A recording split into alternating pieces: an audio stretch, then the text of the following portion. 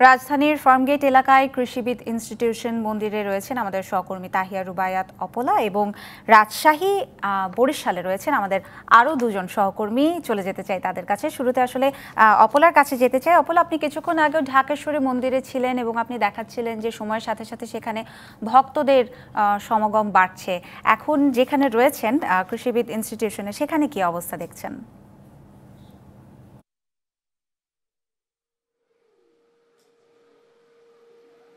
নিকিতা নন্দিনী আসলে বেলা বেলার সাথে সাথে ভক্ত দর্শনার্থীদের ঢল যতটাই বাড়ুক না কেন, আমি যদি আপনাকে খুব সংক্ষেপে বলতে চাই, তাহলে বলব যে রাজধানীর পূজা মণ্ডপগুলোর যে অবস্থা, আপনি যদি বিগত দিনের স্মৃতির কথা চিন্তা করেন, তাহলে অনেকটাই আপনার মন খারাপ হয়ে যাবে। কারণ সব জায়গায় আসলে এতটা সীমিত পরিসরে আয়োজন হচ্ছে স্বাস্থ্যবিধি মেনে এবং স্বাস্থ্যবিধির বিষয়টি মাথায় রেখেই, নিরাপত্তা মেনে, তবে আয়োজন কিন্তু হচ্ছে খুবই সীমিত পরিসরে। তবে হ্যাঁ আসার কথা বলতে পারি যে শুধুমাত্র ভক্তরা নয়, ভক্তদের পাশাপাশি দর্শনার্থীরাও কিন্তু ভিড় করছে।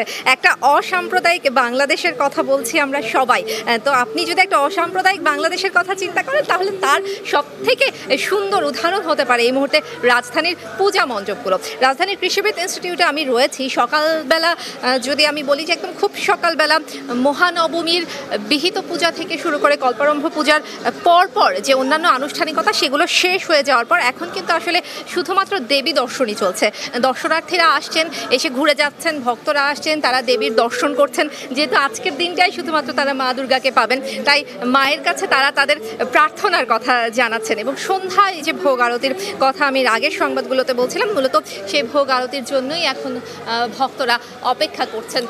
তো যেটা বলছিলাম যে উড়নচণ্ডী দুর্গতি আসেনি এবার কিছুটা অশান্তির বার্তা নিয়ে আসলো, যেহেতু তিনি গজে করে আগামীকাল বিদায় নিচ্ছেন তাই তিনি কিছুটা মঙ্গলের বার্তাই কিন্তু এটার মাধ্যমে দিচ্ছেন এবং ভক্তদেরও কিন্তু এটাই প্রত্যাশা যে মা ফিরে যাবেন, তবে যাবার আগে আশীর্বাদ করে যাবেন। মঙ্গলময় একটি পৃথিবী তাদেরকে দিয়ে যাবেন। এমনটাই কিন্তু আমরা তাদের সঙ্গে কথা বলে জানতে পেরেছি। তো সব কিছু মিলে সীমিত পরিসরে হলেও বলতে পারেন যে উৎসবমুখর পরিবেশের মধ্য দিয়ে যতটুকুই পারছেন সনাতন ধর্মের অনুসারীরা উৎসবমুখর পরিবেশের মধ্য দিয়েই মা দুর্গাকে বিদায় জানানোর যে আনুষ্ঠানিকতা সেসব পালন করছে জি অপলা এরপর আসলে যেতে চাই রাজশাহীতে। সৌরভ হাবিব রয়েছেন আমাদের সঙ্গে। সৌরভ গতকালও খুবই সীমিত পরিসরে মহা অষ্টমী এবং কুমারী পূজা অনুষ্ঠিত হয়েছে রাজশাহীতে আজ কি অবস্থা দেখছেন? মহানবমী কেমন হচ্ছে?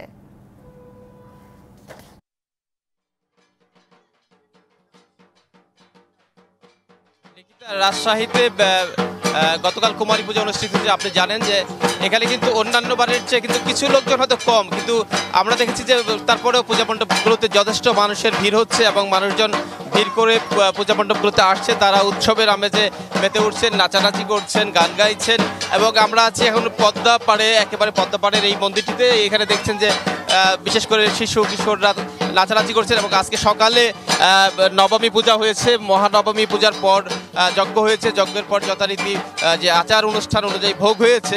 তো এই পর্যায়ক্রমে কিন্তু পূজার যে আনুষ্ঠানিকতা সব কিছু কিন্তু খুব স্বাভাবিকভাবে হচ্ছে। আমরা একটু যদি এখানে যারা আছেন, পূজার আয়োজন হিসেবে আছেন এখানে একজন আছেন কীভাবে আজকে পূজা কর্মসূচি হয়েছে? আজকে সকালে পূজা হয়েছে, হোম হয়েছে যজ্ঞ হয়েছে, তারপরে নবমী পূজা হয়েছে, খিচুড়ি, নয় রকমের ভাজা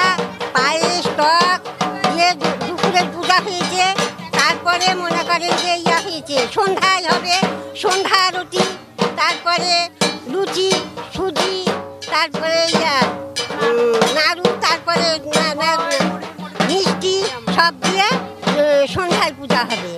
এখানে বাদ্যের তালে তালে বাচ্চারা নাচছে তাদের সাথে আমরা একটু কথা বলি। কীভাবে পূজার অনুষ্ঠান করছ তোমরা?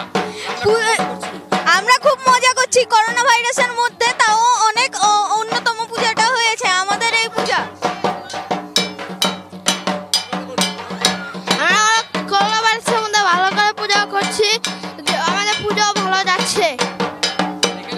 যে ঢাকের যে বাদ্য, সেই বাদ্যটাও কিন্তু চলছে যথারীতি এবং সবকিছু মিলিয়ে রাজশাহী জেলায় জানিয়ে রাখছি যে রাজশাহী জেলায় এবং মহানগর মিলিয়ে চারশো পূজা মণ্ডপ রয়েছে। এই পূজা মণ্ডপগুলোতে কিন্তু যথারীতি পূজা হচ্ছে। এখন পর্যন্ত কোথাও কোনো অপ্রীতিকর ঘটনার খবর আমরা পাইনি।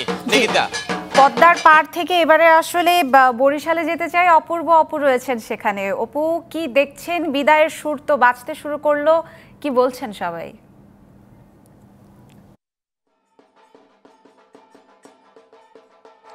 প্রথমে বলে রাখি, আমি এই মুহূর্তে আছি বরিশাল শহরের অন্যতম একটি পূজা মণ্ডপ।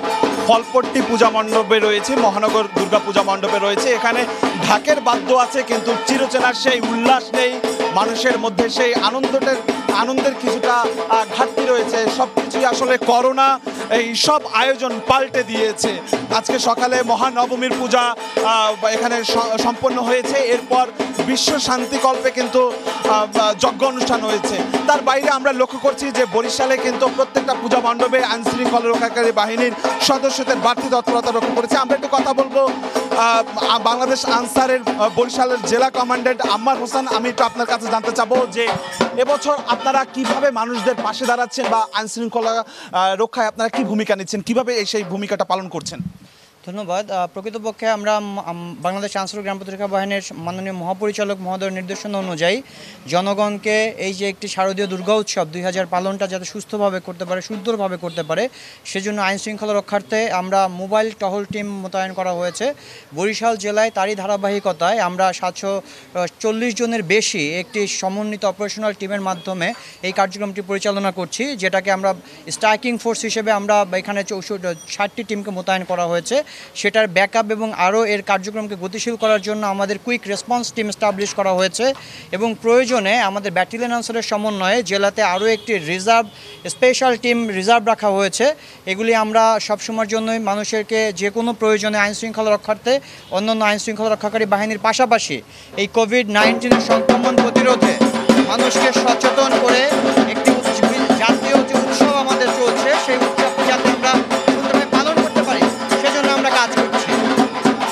আমরা একটু কথা বলব। এই পূজা কমিটির সভাপতি ললিত দাস আপনার কাছে জানতে চাচ্ছি যে আপনারা কীভাবে পূজাটা অর্পণ করছেন এবং মায়ের কাছে কি প্রার্থনা করছেন?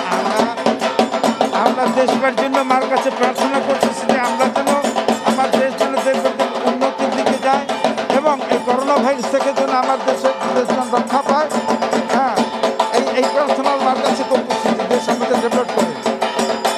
ধন্যবাদ আমাদের সাথে যুক্ত হয়েছিল। এর বাইরে এখানে কিন্তু জয়ন্ত দাস এই মন্দির কমিটির সাধারণ সম্পাদক তিনি রয়েছে সব কিছু মিলে সবগুলো পূজা মণ্ডপেই কিন্তু মহানবমীর পূজা সম্পন্ন হয়েছে। তবে কোন বরিশালের কোথাও সামাজ- সাংস্কৃতিক বা অনুষ্ঠান নেই আলোকসজ্জাও নেই সেই চিরচেনা। তার বদলে মন্দির কমিটিগুলো এখানে কিন্তু নানান ধরনের সেবামূলক কর্মসূচি পালন করছে। তো বরিশাল পূজা মণ্ডপ মহানবমীর আনুষ্ঠানিকতা স্বাস্থ্যবিধি এবং আইন শৃঙ্খলার তৎপরতার খবরাখবর দিচ্ছিলেন সহকর্মীরা।